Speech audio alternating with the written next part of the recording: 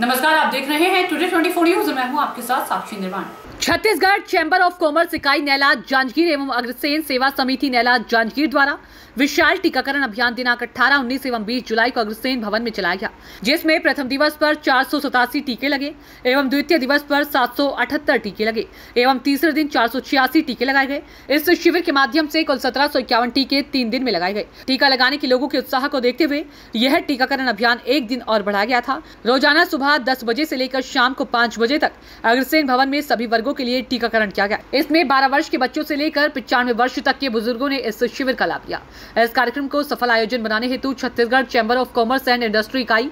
नैला जांजगीर के अध्यक्ष मनोज अग्रवाल, अग्रसेन सेवा समिति के अध्यक्ष संजय अग्रवाल, मारवाड़ी युवा मंच के प्रदेश अध्यक्ष अमर सुल्तानिया एवं चैम्बर के उपाध्यक्ष अजय गट्टानी, प्रमोद सिंघानिया, विकास सराफ, कोषाध्यक्ष भरत टहलनी, सह सचिव सुनील शर्मा, सदस्यगण राजेंद्र बंसल, नीलेश झाजरिया पीयूष सर्राफ नीरज शर्मा, अमित शर्मा, पंकज अग्रवाल आदि उपस्थित थे।